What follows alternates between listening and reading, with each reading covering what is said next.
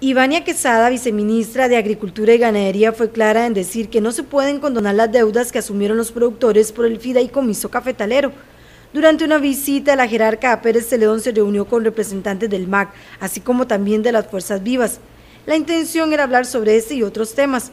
Precisó que la herramienta del fideicomiso es sumamente importante. Es un fideicomiso este, que nació hace algunos años y se creó, gracias a Dios, por la iniciativa de la Asamblea Legislativa y es un, fideicomiso que para nosotros ha tenido muy buenos resultados porque este, el café venía a la baja sobre todo por el tema de la roya y, y, bueno, no ha bajado más gracias a Dios a este apoyo.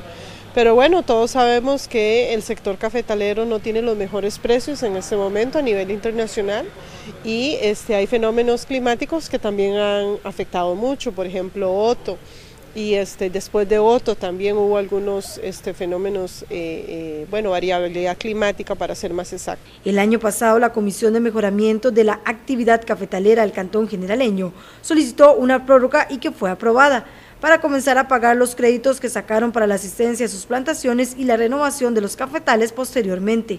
Entonces hemos estado tratando con las herramientas que nos da el fideicomiso, porque es una ley de la República, con lo que nos permite el principio de legalidad, este, pues seguir apoyando a los productores. Y dentro de las cosas que nos permite es, por ejemplo, este, que no se paguen intereses, sino em, capitalizarlos. Pero sí es clara la ley y la ley en su articulado expresamente se indica que no es permitido la condonación de deudas. Entonces, a pesar de que muchos productores desearían que se les condonara la deuda, pues la ley no lo permite. Entonces, a veces lo que podemos hacer es este, este, tipo de cosas para poder apoyar al productor, este, dado que tal vez tiene una baja en este momento, este, y no se vea obligado a pagar, por ejemplo, intereses. Quesada también dijo que las condiciones climáticas no afectaron a todos los productores, por lo que se tiene que realizar la verificación. Entonces es parte de las herramientas que estamos aplicando y con las cuales estamos apoyando. También tenemos claros que esta variabilidad climática no ha afectado a todos los productores, sino solo a algunos